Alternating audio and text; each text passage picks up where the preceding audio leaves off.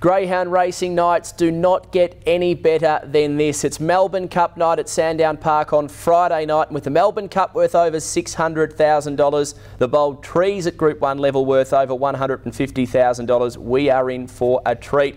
We're now previewing the Bold Trease and I'm joined by Mick Floyd and Jason Adams once again. Mick, hello to you. Hello, James. Jace, big one, the stayers. Uh, a lot of people love staying racing. They find a position early and they just race for the glory. And we've got a great uh, addition ahead of us too, the Bold Trease, of course, with Rip and Sam and Tornado Tears out. Yeah. It's really opened it up and we've got a really open field this Friday night. Mick, what do you think about the Bold Trease? There's been some champs that have won this race, and I think there'll only be another added to the long list on Friday. There certainly is. As Jason mentioned, this opens it up for a few other contenders now, and I think after those heats, I think we've narrowed it down to a race in two. The Star Victorian, Bacali, and the New South Wales Raider, Poco Dorado, both very yeah. impressive in their heats. It, it, does seem that way. We'll have a look at the market and the box draw now. From box one, Black Impala, $7.50. Ebby Ripper, well, it wouldn't be a group final without Ebby Ripper. This is around about her 20th. She's at $7.50. Uh, $2.50 for Bacali. He's the joint favourite now with Poco Dorado as we see in seven. Beckham's at $12, Hot Tip 41, Kansan at 26 and Soda Flash box number eight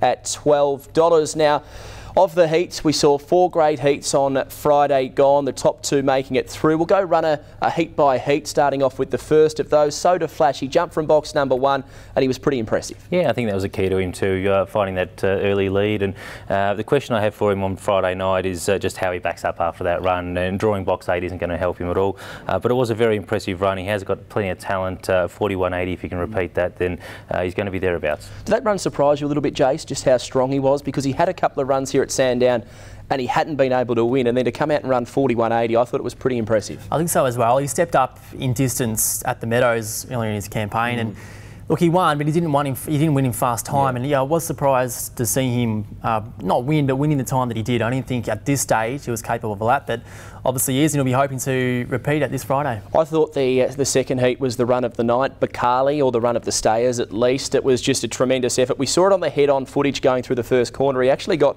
a decent hip and shoulder and had to pull back to then find the rails. Exploded through. He still went 41.63. He gets clear running from box number three, Mick. I reckon he can go about 41.45. If he runs that, oh, he's going to be hard to beat. I think so. He's. Uh, I think if you can repeat that 41.60, he's going to be the one to beat. Uh, he should get a clear run now. We're yeah. seeing he can run uh, fast times. This isn't a one-off for him. He has done that previously.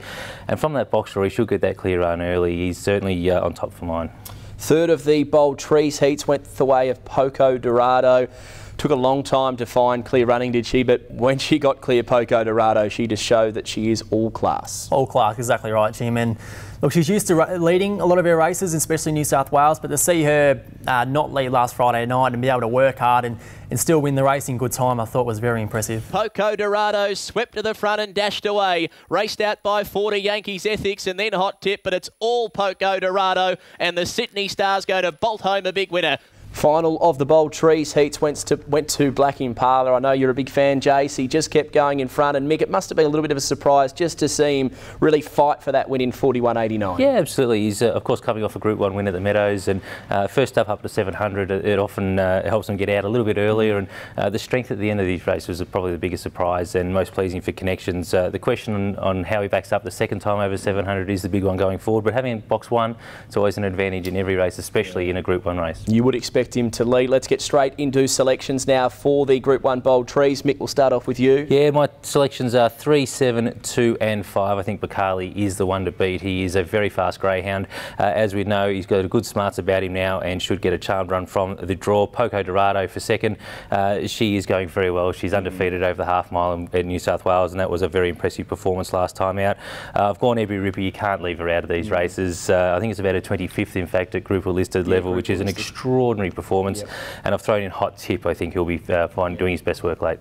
Jace? Yeah, I've gone 3, 7, 1 and 2, 3 on top of Carly. And Look, I do think he's much better drawn this week than what he was last week, and he is to find the fence, as mm. James mentioned, he will go fast, but he's got one concern, and I think it's Black Impala shifting off the track, so he's got to avoid him in the early stages. Second, number seven, Poco Dorado. Look, she's a star, New South Wales stayer, I think. She's probably got as much as, as ability as Bacali, um, just gone with Bacali because of the better draw. Yeah. Third, number one, Black Impala. As I said, he will begin well, he will lead. Whether he can run out the trip, I think he may, but we'll see how we go. And fourth, number two, Ebby Ripper. As you guys have said, you can't leave her out. She's been in so many many group race finals, and no doubt we'll be running on well late in the race. I'm the villain here. I'm playing as the villain. I'm leaving her out, Ebby Ripper. I'm going three, seven, four, and five. Tipping Bacali on top. Look, he's going to get the charm run. I think he'll follow Black Impala. He'll strike the leader lap to go. I think he'll be too good for seven. Poco Dorado. I've gone the four for third Beckham. I thought it was a pretty nice type of staying debut in the heat. And I've gone for fourth, the five hot tip. And like you, Mick, I think the uh, the Bolter can run a pretty big race. Well, it's going to be an unbelievable night of greyhound racing. The Melbourne Cup, the Bold Trease, and add to that, Mick, there's so much happening off the track as there well. There is. It's free entry. Someone will have a chance to spin for a million dollars on the Sandown Super Wheel. Stacks of free fun and entertainment and giveaways throughout the entire night. It is greyhound racing's night of night, the very best our sport has to offer. So make sure you get along to the track and be part of the fun. It really is going to be an unbelievable night. They're striving for greatness, the Greyhounds, and so are we, the punters. Get to Sandown Park for a memorable night on Friday night.